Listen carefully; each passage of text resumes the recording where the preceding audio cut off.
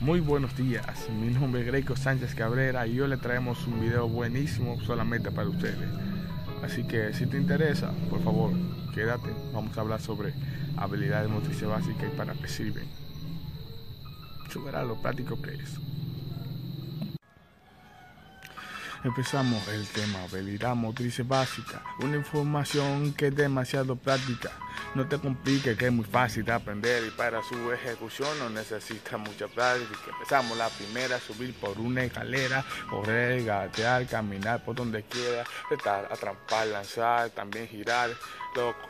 Eso está incluso nadar por ende siempre ella va a estar presente, tanto así que puedes salvarte de un accidente. Imaginas por tu casa si tú estás cruzando un puente, si te está cayendo, te agarra y no le para a la gente, o porque no cambiamos a una piscina, o ir para allá, porque el agua te fascina, o obviamente a nadar tan y más aún si nada por debajo o por encima, dime. Esa niña que llegó hasta su artista preferido para abrazarlo, su ser querido, tuvo que calar lo que nunca había sabido, pero ya lo ha conseguido.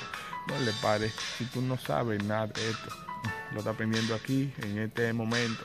Habilidad motriz básica, lo encontró una cosa que es demasiado práctica.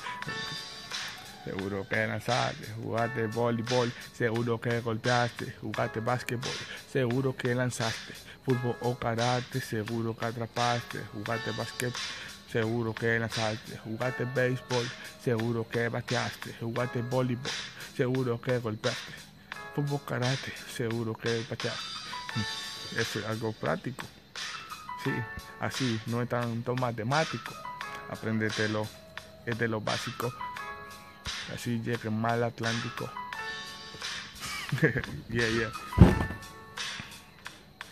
Habilidades motrices básicas son cosas que usted hace desde que nace hasta que muere.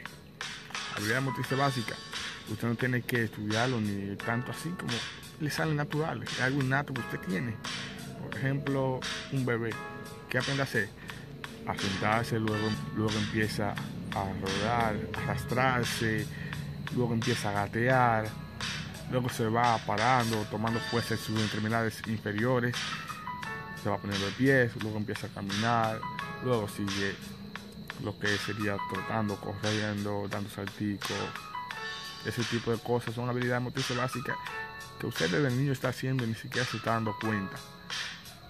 Y a veces se pregunta, ¿cuál es la función de un profesor de educación física o de un entrenador físico?